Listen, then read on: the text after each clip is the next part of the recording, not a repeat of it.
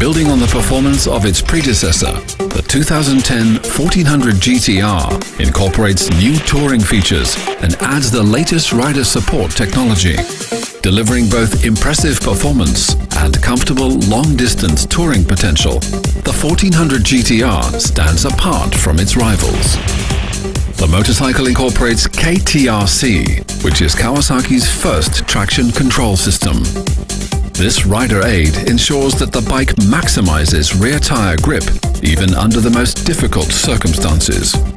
Kawasaki's unique three-way control of airflow, ignition timing and fuel delivery ensures that the KTRC system operates smoothly and minimizes the effect on the bike's riding behavior. The system is capable of handling long stretches of bad roads.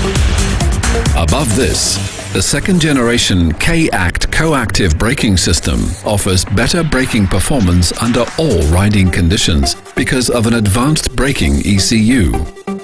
Another novelty is that the rider can now select from two modes to suit riding situation or rider preference. The windscreen is taller and is now electronically adjustable, keeping the rider protected from the elements. To further add to comfort, heated grips come as standard equipment. The new bodywork ensures smoother airflow, better engine heat dissipation, and more view in the rear-view mirrors. To encourage an environment-friendly riding style, the 1400 GTR now features an Eco Ride indicator, which lets the rider know when fuel consumption is favorable.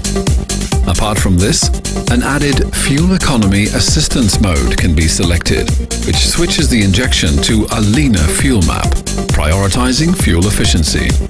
All in all, the new 1400 GTR adds more comfort, more rider aids, and more technology to an already potent touring package, making the 1400 GTR your best traveling companion.